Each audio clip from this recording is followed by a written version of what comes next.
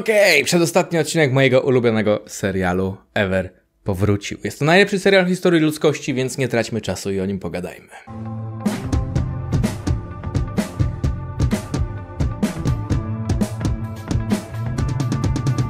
Więc zaczynamy wybitną sceną, która bardzo mi się podobała, gdy Nick Fury po jakże wspaniałej strzelaninie pod koniec poprzedniego odcinka wziął prezydenta Stanów Zjednoczonych pod pachę, wsadził do samochodu i sam pojechał do jakiegoś angielskiego szpitala, gdzie mamy scenę rozpoczętą tym, że no, wchodzą w jakiś korytarz, jest on, tam jakaś, jakaś lekarka, nie wiem, tam jakieś pielęgniarki czy pielęgniarze i, i, tyle i jest prezydent Stanów Zjednoczonych i on mówi, szepcze mu na ucho, a tam lekarka czy tam ktoś mówi mu, ale pan w ogóle ma clearance, ma pan, y, nie wiem, pozwolenie, nie, nie, nie wiem, jak to w ogóle jakiś, może pan tu być w ogóle? I, i ten Nick Fury sobie siada przed drzwiami jak w jakimś, nie wiem, randomowym szpitalu, prezydent Stanów Zjednoczonych jest przez jakąś randomową lekarkę leczony po zamachu. Także no, realizm tej sceny bije tak bardzo, że zastanawiam się, czy nie nadać temu wszystkiemu tytułu. Nie, no dobra, kurwa, już nie mogę. Wybaczcie, wybaczcie, wyba, wybaczcie, wybaczcie, ale po prostu no, nie jestem fanem tego serialu. I ten odcinek wydał mi się chyba najlepszy z nich wszystkich. Było trochę brutalniej, było trochę tak dosadniej, było trochę jakiejś akcji, ale, ale ogólnie rzecz biorąc, to, to, to jest już co odcinek mówię, no stracone jak dla mnie. No nie wiem, no Nick Fury w ogóle jakoś randomowo z prezydentem pod pachą wchodzi do szpitala i tam jakaś angielska lekarka mu mówi na zasadzie, a pan w ogóle ma pozwolenie, żeby tu być, a pani ma tu kurwa pozwolenie, żeby być, to, to, to jest prezydent Stanów Zjednoczonych w ogóle jak przyleciał w zeszłym roku do Warszawy, to pół miasta było przez trzy dni zablokowane. A on się tutaj z nim podpachał, no dobra, no nie wiem, podpachał, no widzimy go już leżącego na, na tym. No nie wiem, no dobra, w każdym razie potem mamy Grawika, Grawik, który, jego ludzie się zaczynają buntować, więc kogoś morduje, niesamowita scena. Po czym mówi Rodiemu, Rodi, jedź do prezydenta, pokaż prezydentowi dowody i powiedz, żeby zbombardował naszą bazę, w ten sposób wywołamy trzecią wojnę światową. Więc później w trakcie filmu Rodi tam jedzie, siada z prezydentem i mówi, Marek, Mr. Prezydent, patrz pan, tam jest ekran, tam są dowody, bombardujemy ruskich, robimy trzecią wojnę światową, dobra? Tak wygląda realizm polityczny, że tak powiem, e, w tym, w tym filmie. Leży sobie w jakimś, na jakimś łóżku hotelowym, e, znaczy no, szpitalnym. Prezydent przychodzi do niego Rowdy i mówi: Patrz pan, tutaj na iPhone'ie jest dowód i bombardujemy ruskich, trzecia wojna światowa, no nie? Prawda? To rozsądne, nie? Zróbmy tak. Hmm? Hmm? Hmm? No, a jeszcze w międzyczasie wpada tam Rowdy ze swoimi agentami. Ten jeden w ogóle, co stał z tyłu, wybitna mina, wybitna jakaś szczęka. E, I wpada na Nika Fury. Nick Fury oczywiście robi scenę pod tytułem Przystają pistolet do szyi i, i Rowdy musi powiedzieć Spokojnie panowie, spokojnie, głosem Lipskiego z Killera. To jest killer. On mnie nie zrozumiał, panowie, spokojnie. Śmieję się, ale no, to była ta scena. Po czym Samuel L. Jackson mu daje przez łeb jakoś tak śmiesznie. Rowdy robi... I Samuel Jackson sobie odchodzi, więc 15 agentów w niego zaczyna celować i Rowdy mówi, no, zobaczysz, kurwa, następnym razem jak się pokażesz, to cię zastrzelą, widzisz ich tutaj? Ja mówię, to, to zastrzel go, kurwa, to go zastrzel, przecież chłop jest waszym przeciwnikiem, albo aresztuj. A zresztą ty coś, Fury coś krzyczy, że o Graviku ten Rowdy jakby, nie wiem, którego gra, który niby jest babką, scrollem, coś mu odkrzykuje, ci wszyscy agenci, to nie to są też scrolle, czy to są zwykli ludzie, czy oni to słyszą, czy oni rozumieją w ogóle.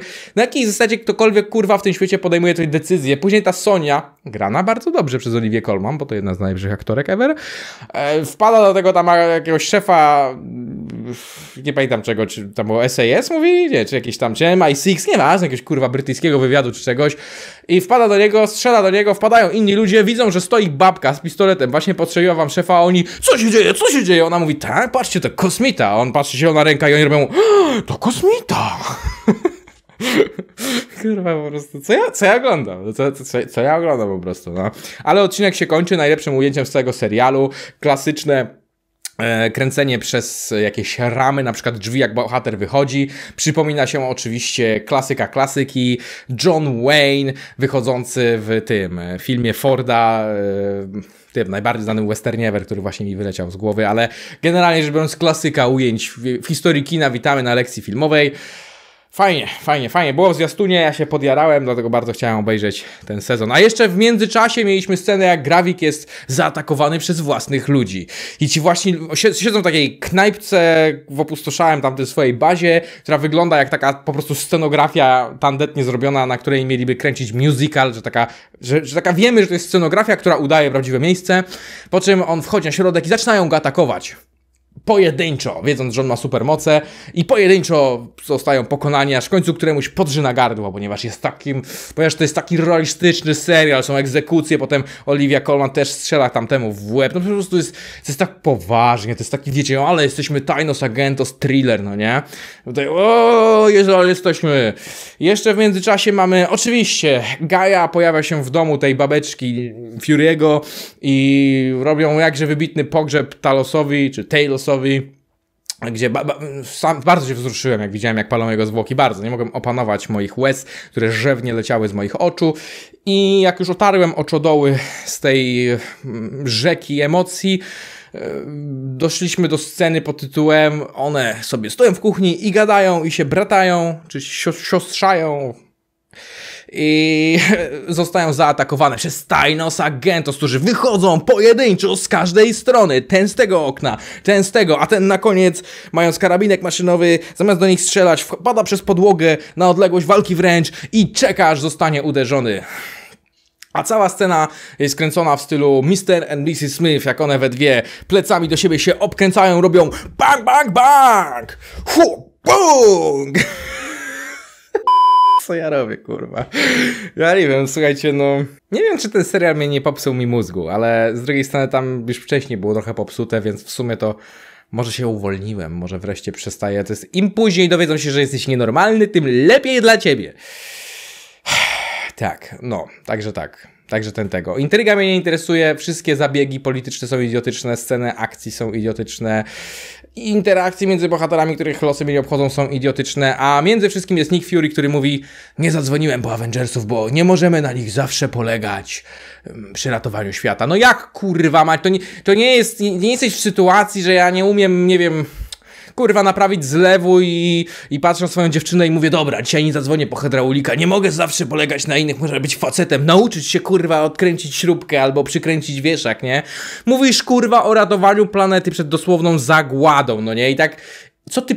No, ja rozumiem, dają to oczywiście scenarzyści po to, żeby tam w filmie było, czemu nie zadzwoniłeś po Avengersów, skoro zagłada świata. I Nick Fury, jakby wiecie, zaadresował to, że takie, wiecie, że serial jest wewnętrznie świadomy, ale to kurwa nie ma sensu, no.